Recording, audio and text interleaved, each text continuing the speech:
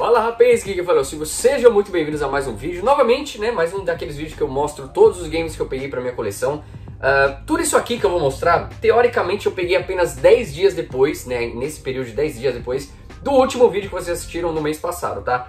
Esse vídeo vai estar saindo com um pouco mais de antecedência, porém tem muita, mas muita, muita coisa pra mostrar. Eu tenho uma, um lote aqui de 30 jogos de PS2, tem muita coisa de DS, tem jogos de PSP, enfim, tá lotado de coisa aqui. Então já vai deixando seu joinha, vai, já vai escrevendo aqui embaixo que é muito importante. Eu sempre tento mostrar esses vídeos aqui das coisas que eu pego pra coleção pelo menos uma vez no mês. E lembrando que, pelo amor de Deus, Todos os itens desse vídeo são da minha coleção, nenhum deles está disponível para venda, tá bom? Se quiser ver jogos que eu tenho para disponível para venda, tá aqui na descrição a minha loja, você pode acessar e comprar seus games lá, tá bom?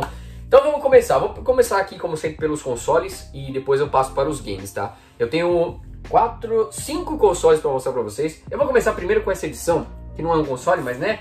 Olha que beleza, olha que beleza. Finalmente, Super Scope de Super Nintendo. A caixa assim, no geral, ela tá bem ok, mas nas bordas aqui, principalmente deste lado, a situação tá crítica, né?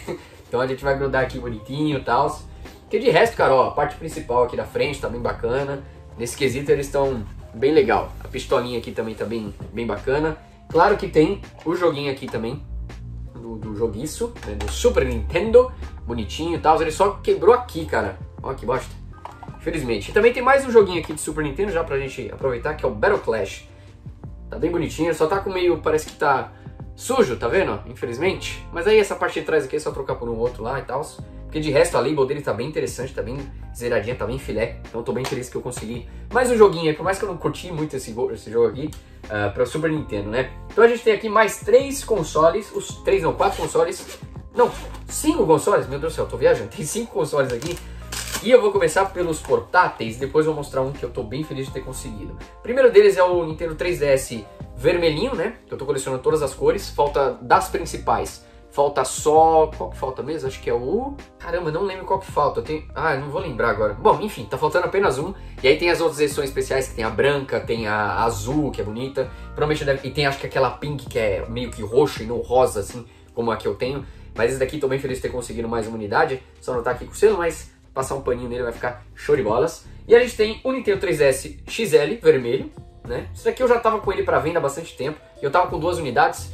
Tive um trabalhão de vender uma, falei, quer saber, eu vou ficar com outro logo. Porque eu já estava pensando em fazer isso já faz um tempo, então acabei tomando essa coragem. Aqui nós temos dois primeiros modelos do DS que eu estou bem feliz de conseguir, eu nunca tive um desse. Embora não estejam assim as mil maravilhas no quesito frontal, mas é o vermelhinho, né? Esse aqui é o primeiro modelo do DS, muita gente nem conhece, né?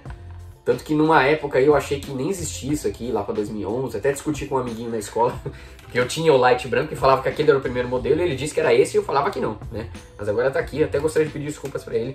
Tá bem bonitinho, a versão, se não me engano, é do Mario Kart, que tem até a coisa aqui com chaveiro muito legal. E a gente tem a versão azul dele também, né? Só que esse aqui tinha os adesivos, dá pra vocês verem aí, que infelizmente acabou ficando manchado, era uns fogo, um negócio não nada a ver. Então, e a telinha dele também tá sensacional, nossa senhora. Vocês não tratam nesse cara aqui, mas tá aqui também bonitaço, tá bom? E a gente tem, agora sim, a cerejinha do bolo. Era um console que eu gostaria muito de ter. Felizmente peguei até jogos para ele para estar tá jogando. Mas eu nunca tive a oportunidade de vê-lo com preço legal. E sei lá, cara. Mas agora eu tenho, que é o Sega Saturn. Finalmente essa criança linda e maravilhosa aqui pra coleção, né? Pelo visto já sofreu alguns reparos. Mas tá aqui bonitaço, ó. Deu uma, um trato legal nele assim, pra deixar ele lindinho. Bonitaço, deixar ele funcional.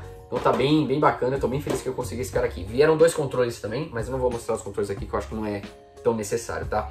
Então agora partindo, saindo dos consoles, vamos finalmente para os games. Esse vídeo vai ficar bem longo, né? acho que vocês já estão percebendo. Esqueci de falar para vocês pegar um salgadinho, fazer uma pipoquinha e assistir a gente aqui, que realmente tá, tem muita coisa legal. Eu vou, vamos começar aqui, cara, eu vou de PSP, que eu acho que é o que já tá aqui na minha frente. A gente tem um jogo de 360 que é o Kinect Star Wars, Nada demais, mas eu achei necessário pegar porque não tinha esse aqui, é americano também.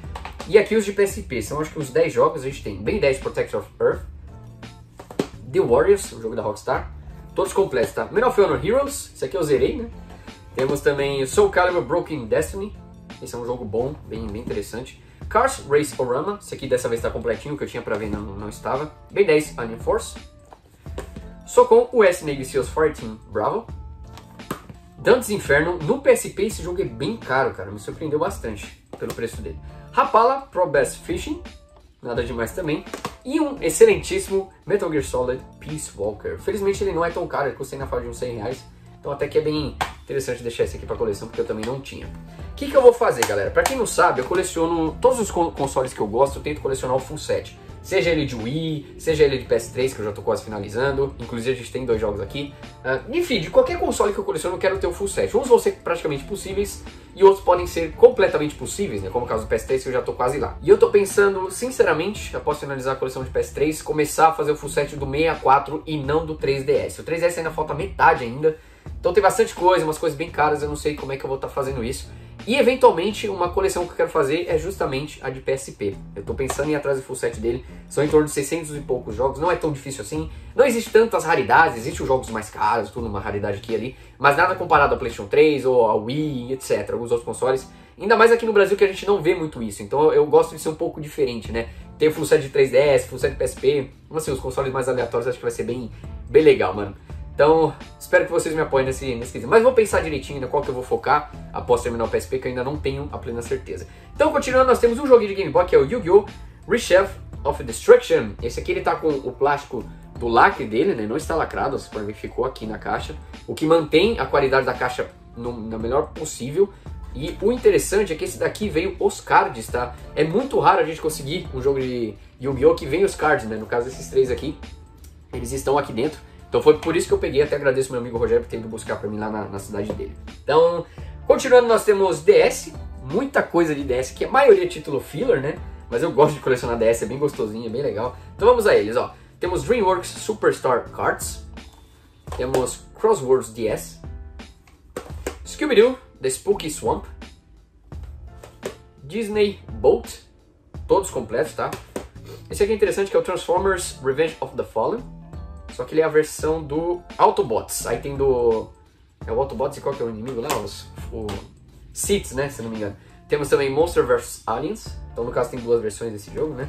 Lego Star Wars 3, que eu já peguei 300 mil unidades pra 3DS, nunca tinha pego de DS. Lego Star Wars Complete Saga. Se você nunca jogou o jogo do Lego, cara, ele é extremamente divertido. Extremamente divertido. Principalmente o da área PS2, cara. Temos Style 7.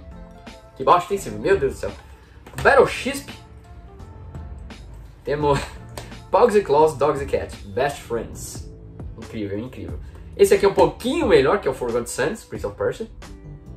Temos também o Prince of Persia The Fallen King. Eu acho que agora tem todos os games da, da franquia Prince of Persia pro DS. Tem o Battles of é, Prince of Persia, que ele é um jogo meio uh, de estratégia, meio de tático, aliás, RPG tático. Então ele é bem diferente, mas eu achei bem, bem interessante a proposta, ainda mais sendo uma franquia que hoje em dia ganhou uma versão bem legal com o Lost Crown, se eu não estou enganado. E é bem bacana esse jogo, tá? Não vou, não vou dizer que ele é ruim não, porque o jogo em si é bem legal, mas eu prefiro, obviamente, os antigos. Temos Over the Edge, Ham Goes Nuts. Lego Ninjago, Battles Ninjago. Flash Focus, olha que beleza, hein? Madagascar 2, Escape to Africa. Ice Age, Dawn of Dinosaurs. E para finalizar com esses dois últimos, finalmente jogos bons, né, Silvio? Pelo amor de Deus. A gente tem Dragon Ball Z, Super Sonic Warriors 2. Joguinho relativamente caro aí, né? pretinho filé. E Mega Man Battle Network Double Team DS, Mega Man 5. Cara, tem vários games do Mega Man no DS, acho que são 17 títulos, fiquei extremamente surpreso. E vamos ver, né? Eu tenho alguns aí, eu devo ter uns 4 ou 5. Quem sabe eu consigo completar esse subset aí. Eu tenho um dos mais caros também, que custa mais de 100 dólares. O negócio tá insano. Aí agora, eu quero passar para vocês para PS4 e PS3. A gente tem dois jogos de RPG aqui, Star Ocean, Integrity and Fateless nossa, é Faithlessness. Caraca. E Sacred of Mana. Ambos americanos, tá? Eu só peguei por conta disso. São RPGs que eu pretendo muito jogar. Principalmente Sacred of Mana. Eu tenho de Super Nintendo. Não cheguei a zerar ele, mas eu quero jogar esse remake aqui. Parece estar tá bem bonito. E finalmente mais dois títulos para o nosso full set de PS3. Que são eles. Summer Winter Star. O Summer Star já tenho, né? Completinho. E Blast Blue Chrono Fantasma. Tô aí para pegar o Central Fiction, que é um dos jogos mais caros do PlayStation 3, inclusive, e um dos mais raros até, eu posso considerar, porque ele tem pouquíssimas vendas, ele foi lançado acho que em 2017, junto do Persona 5, né? Só que por ser de um nicho muito mais nichado que o próprio Persona, que faz sucesso, ele é extremamente caro e extremamente raro, né? Então, esse eu vou ver se eu consigo com um cliente meu, espero que ele consiga me vender, sinceramente, que eu tô bem animado para isso, mas tá aí, mais dois games e agora oficialmente restam apenas 11 títulos para o meu full set, cara. Eu espero conseguir esse full set esse ano, porque ano que vem eu pretendo começar um novo, né? Pretendo focar mais. Eu acredito que eu vou. É, eu tinha até falado que ia pensar direito, mas É muito provável que eu vá pra Wii U. Eu vou finalizar o de Wii U, Wii U que eu tenho a maioria dos jogos caros, falta só um dos caros, que é o Unwritten Tales 2. E todo o resto eu já tenho. E falta só jogo mais baratinho, mais em conta, que eu acho que eu consigo finalizar até ano que vem já. E aí eu posso passar para 3DS, talvez o PSP, que aí vai ser o foco total mesmo, que eu vou adquirir mais games para esse console, né? Tentar ficar com mais jogos também. E aí a gente tem aqui uh, uma das coisas mais insanas que eu já vi na minha vida, que são jogos de Saturn. Que para quem não sabe, jogos de Saturn são extremamente caros em qualquer uma ocasião, né? Eu vou até deixar os, os principais aqui por último. E a gente tem então Gun Griffin completinho aqui, muito bacana. Comecei minha coleção com console já com jogos, né? Então fiquei bem feliz disso. Bem, bem legal, cara, o estilo da, dessas long box aqui. Então eu não, não tive contato. Infelizmente são bem frágeis, né? Então tem que tomar um cuidado extremo com elas. E eu tô bem feliz. A maioria desses games aqui são insanamente caros, tá? A gente tem também Alone in the Dark, On White, Jack Revenge. Bonitaço aqui também, ó. Tudo completinho, filezinho. Temos Guardian Heroes. Esse aqui tá levemente desbotado e a caixinha dele não tá 100% porque tem umas manchas. Mas isso aqui eu vejo de trocar por um joguinho mais baratinho, né? Mas enfim, tô bem feliz também de ter conseguido. Aí temos College Slam, um jogo de basquete também é um dos mais baratos que tem. Vocês podem ver que tá trincado aqui já, ó. Que é bem frágil mesmo, isso aqui tem que tomar um cuidado. Acho que até trincou mais, para falar a verdade. Enfim. E a gente tem as duas pedradas aqui, que são facilmente os dois jogos mais caros de toda a minha coleção. Começando com ele, Bomberman. Lindo e maravilhoso, não tenho nem o que dizer sobre esse, jogos do Bomberman que é sensacional, tirando o Bomberman que eles fizeram no Xbox 360, porque aquilo é um lixo completo, tem nada a ver.